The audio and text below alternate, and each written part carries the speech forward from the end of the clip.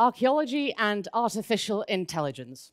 What the hell do those two things have in common? Well, I'll tell you, because the point of my talk today is to talk to you about cloud civilizations, where the savannah and the metaverse meet.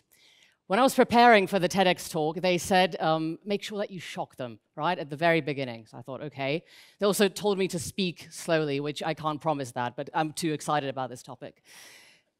But okay, shock them. Well, here we go, nice and easy. Two postulates today that I want to share with you. First of all, that nation states are dying. And second of all, that we need to evolutionarily adapt to the new reality of cloud civilizations. Okay, here we are. I'm asking for the second time in about 30 seconds already, what the hell does that mean? So let's start with some basic definitions just to set the playing ground. Basically, nation states are conglomerates, um, bits of people put together that have a shared culture, often have a shared ethnicity, shared language, often a shared currency. Um, the idea of the nation state and the history of a nation state is a complicated and a long one. But if we want to look into kind of more recent history, it first gets codified around the kind of Peace of Westphalia, which was at the end of the Thirty Years' War in 1648, specifically the Treaty of Münster. Um, we have the first mention of the nation states. But really, the nation states as we know them, there might be French people amongst you, British people amongst you, um, Czech people amongst you. That's really a post World War II phenomenon. Basically, the era of decolonization, the kind of era of self determination. So, the nation states that we're living in are actually laughably modern, often less than 100 years in kind of various uh, topics and various kind of areas of expertise, we see breadcrumbs everywhere of these kind of nation states kind of losing their function, losing their purpose, and slowly deteriorating. Whether that's the biggest drop in the Democrat, uh, Democratic Index since 2006, inflation, various economic crises, record migration of people to technological platforms, increased rate of globalization despite the pandemic, and even academic postulates. So people like Dasgupta and many, many others are talking about the deterioration of the nation state. Cloud civilizations, right? Okay, I, I, I'll be honest, I made this term up, right? Because like every academic's got to have a term that they kind of make up and then they pretend to be very important about it. But basically, I believe that global civilizations, sorry, cloud civilizations that are global, are essentially a digital blanket on the world as we know it. You can imagine them as telemedicine, blockchain, cryptocurrencies, online educational platforms that are not uh, necessarily connected to any kind of state institution. And we kind of see them appearing slowly, like a 3D version of the internet that is connected to the real world, but is enabled and scaled thanks to modern technological platforms. However, um, as much as I would love to, and when I had the first iteration of my TED talk, it was about 45 minutes, about 60 slides, and they said, yeah, can you tone down the academic side a little bit and maybe talk about your life story instead? So I thought, okay, great. Um, chance would have it, a few weeks ago, I turned 30, so I realized, like the nation state, I'm slowly dying. Um, uh, so, uh, so I thought, okay, I'll actually tell you how the hell I got to this place in the first place, why I'm an academic dedicating my life to this aloof term, terminus technicus of the cloud civilizations, because it's a big gamble. Um, so basically, I'll split the TED Talk into three kind of key periods of my life and the key lessons that I took from those that led me to the very point today, and that's something that I strongly believe in. Let's start off with a kid picture. It always gets them going. Right, so this is me um, looking very much like a boy, um, already with a little shovel, so you can see I was into archaeology from a very early age. Um, but I was a really curious kid, right? I loved everything. Like, uh, observe, please, my um, certificate from Multimedia Studies from 1999. Yeah? It was in Microsoft Paint, pretty much, but like, yeah, big, hardcore stuff. Um, I loved dogs, animals, archaeology massively, and I was just pretty much into absolutely everything. Um, uh, sorry, I'll get emotional here, but um, my family really, really supported me here. And really um, supported me in this curiosity. And I've got my mum in the audience, uh, who was great and is great in supporting me in terms of doing what I want to do. Um, I was really lucky that I was in a very multidisciplinary family. So, from my granddad's teaching me how engines of World War II planes work, to archaeology, to psychology, to learning to cook, um, I was a very, very lucky kid to have that support and all that curiosity the breaking point, however, for me, um, I'm a bit of a mutt. I have Polish, Czech, Vietnamese blood in me. Um, and we moved to Vietnam in, in the year 2000 at the break of the millennium. And that was a massive, massive change. I started learning English, um, which basically became my kind of native tongue almost. I was exposed to a lot of different cultures. You can see, for example, this is actually quite a funny story. Um, uh, when we went on a trip to neighboring Cambodia, I was, of course, like completely taken apart by the Angkor Wat temples. So much so that there was Michael Caine standing next to us the entire time, and my mom and dad were like, Look, it's this really important guy. I was like, psh, psh, psh temples. Uh, so I completely missed the opportunity to say hi or whatever. But he's there in the picture, so I've got proof. So that's the most important thing. But this period of my life, this early period of my life, essentially taught me a couple of lessons. The first one was that borders are completely irrelevant. It really doesn't matter. I was exposed to an international education, loads of different cultures. We traveled somewhere basically every month. Um, and the second thing was that everything is connected. It really doesn't matter whether you're doing history or archaeology or philosophy or nuclear physics. It's essentially just a massive database of human knowledge that we've been accumulating over the past thousands of years and that we have found a way to connect. All of the data points are somehow connected. So that was the explosion in my childhood. Then came Oxford, right? Uh, uh, uh, this, this is not one of those like bragging moments, oh yeah, you know, Oxford, but it was just like one of the happiest periods of my life. I've wanted to go there ever since I was tiny. It was, as you can see, very serious education, no beer or pubs or party, very serious. Um, but I studied archaeology and anthropology. Um, then I specialized uh, in cognitive and evolutionary anthropology, specifically the evolution of symbolic thought and music under the late, unfortunately, Ian Morley. Um, and it was basically, it gave me the academic underpinning for everything that I was already so, so interested in. But then I was like, okay, I've, I've got the great education. What do I do with it? So I thought, okay, um, know exactly what I'll do with it. I'll become a curator in the British Museum. Uh, which was great, good idea, except I sent them about 15 applications and they responded to nada. Zero, nothing. So I thought, okay, that's maybe a bit of a change of plan needed. Need to evolutionarily adapt to the situation.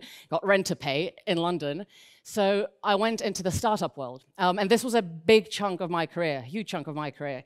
I worked in uh, tech uh, throughout this entire time. I was, for example, uh, working on digital campaigns in politics. That was a lot of fun, a lot of interesting stories, but we were non-partisan. So, for example, I uh, helped build both uh, sides of the digital infrastructure of Brexit.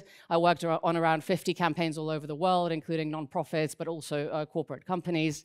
I did artificial intelligence for museums and galleries, predicting visitation.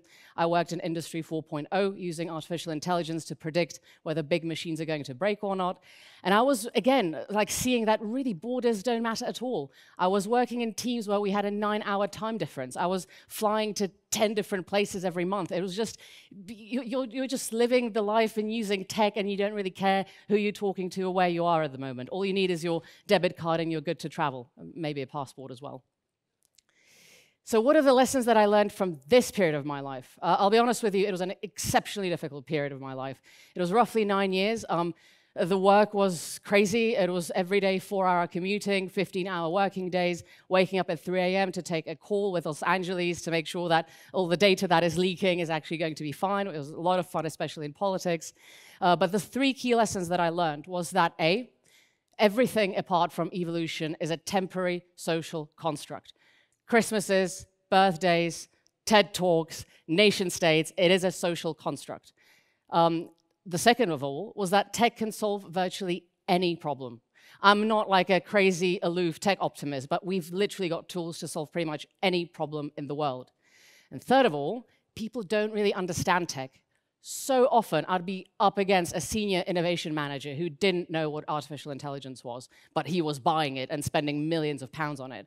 So many times I came across someone who just had no idea how an Excel spreadsheet works properly. So there was a huge, huge gap, no matter what startup I worked in, between the potential of the technology and the way that people actually understood it after this period, um, I returned back into the Czech Republic, um, and I kind of I started missing archaeology a lot and anthropology as well. Um, and I, uh, COVID came, and all of these lessons that I learned in my time in this tech sector became even more woefully critical than ever before. We were in a time of crisis, and we weren't able to deal with it, although we have the tools to do so. New kind of social problems came up, and every day they were getting more accentuated, more problematic, whether it's the erosion of trust, fake news, conspiracy theories, questioning of democracy, and whether even it's the optimal social structure, the war in Ukraine, death of the nation state. But on the other hand, you have all the tools that you could possibly dream of. Like Ramses II would probably like cut off his right arm to have at least at least a portion of those tools that we have now. Whether it's the metaverse, Web 3.0, artificial intelligence, virtual reality, we can deal with those problems, but the dialogue isn't going on. So I thought, okay, I'll start talking about it. And I was talking about it, and I was going around various cities, and I would have like five people listen to me, and I was like, yeah, archaeology, woo, technology, great. Um, I became a member of like 10 different projects, either managing them or being part of them with very mixed success. Um, uh, there, there, were definitely screw ups along the way. And I just became a, a completely like uh, unorganized, unfocused, and I was spread way, way too thin. And so I thought, okay, I need to do something about that. But I knew that what I was onto is going to be important for the 21st century in navigating the chaos that we're in the lessons from this period, where A, again, that social structure as we know it is collapsing, but that's not a bad thing. A lot of academics like Jared Diamond or the famous Czech Egyptologist Miroslav Barta, they talk about the collapse of civilizations, but we have bad connotations associated with collapse. It's a transformation. It's an opportunity for a phoenix moment. So it's collapsing, but that's fine. We should relish that as an evolutionary opportunity. Second of all, that people seek refuge in technological solutions like cryptocurrencies, like NFTs, like all of these things. It's, it's becoming to have a mass adoption. Or if you saw the AI algorithms like Midjourney um, or DALL-E, like people are starting to really kind of get into the tech world. However, uh, that has a downside, and that is social stratification. Um, we need to make sure that we don't get into the situation that only the kind of privileged people with the access to the information, not necessarily wealthy people, but access to information, don't create these technological elites, and they survive the chaos, but the rest don't. So it's very important that during times of crisis, we have bottom-up education and a decentralized education that can bring those tools to people and make them available. So, what did we decide to do? Um, uh, essentially, I thought, okay, this is 30 years of my life. I've got these things that I want to do. What's the smartest thing? Yeah, go into academia. Perfect, that'll pay the rent. Um, but essentially, what we've done is me and a couple of similarly uh, insane people have started a research group where I don't just want to talk about these big concepts in an empty way, but I want to research them academically. So what we've done is that we're going to be recreating Plato's polis in virtual reality and basically using it as a testing ground, as a testing bed for ethics, for morality, and to find the kind of lowest common denominator of what makes a society evolutionarily resilient. To give you a little bit of context on Plato, because Plato is just very complex and he always thought he was very important, um, but that's mainly because all of his written works survived until this day. He wrote The Republic in 375 uh, BC, and essentially he kind of laid out the utopian social structure, what the ideal city state should be. You had three categories of people philosophers at the very top, of course, talk about a self fulfilling prophecy. Good PR, Plato. Second of all, the guardians, so the warriors, people pr protecting the entity. And third of all, the commoners. If you think that this utopia was functional, think again. Um, Plato was actually a bit of an antique eugenicist because, for example, he thought that it's the philosopher's task to decide which commoners breed with whom to produce the ultimate kind of next generation that will serve the city state in the best way possible. So, a bit of Aldous Huxley, Brave New World. However, we know that his postulates aren't necessarily right or true, but we want to use this antique setting of the polis to test out various things like when will people get pissed off with the system? When will they stop paying taxes? Will they break off and start a new society? And we want to test these things and we will find out what society is actually made of, the anatomy of civilization. Right, you're probably sitting there and thinking, okay, that's great, but like I still need to eat and like pay my rent and like switch on the light, so how is all of this useful? Uh, well, it is, trust me, and it, not just because I'm crazy and I love the topic, um, but when we, if we actually want to survive as a human species, we have to understand that civilization, any civilization is temporary, that it is a social construct. The nation state is a part of that kind of wheel going on and on and on throughout human history. If we want to become a multiplanetary species and colonize Mars, imagine after six months on Mars, you, you, don't care what nationality someone is. If someone steals your breakfast ration, you will probably smother them in their sleep because you're hungry and you're just trying to spend your time cultivating potatoes, and then suddenly, before you know it, half of your food ration is gone. The tribal evolutionary instincts will kick in because, as much as we don't like to admit it, we have an animal brain going on there. So we want to make sure that even in the most difficult times, even in the most difficult, challenging circumstances, we can use technology to basically simulate this lowest common denominator of our society, understand the anatomy of it, and make sure that we survive, whether it is Mars or anywhere else, and just to be aware of that fact, not to think that we have reached the pinnacle of civilization, because we haven't. Make sure that we're resilient and can evolutionarily survive.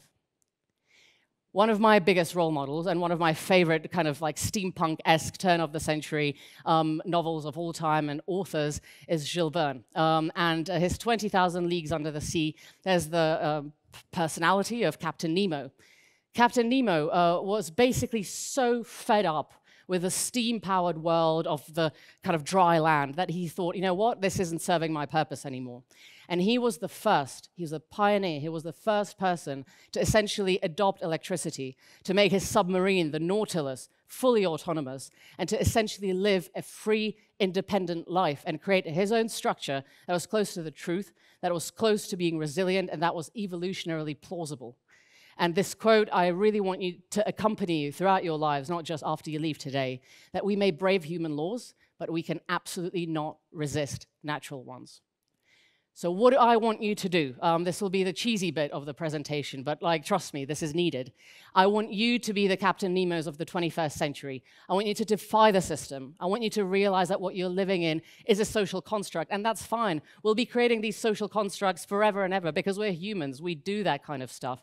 But I want you to be able to invent and create the structures, not just live in them. You've got all the tools available, so use them. And that's where the savannah and the metaverse meet. Thank you very much.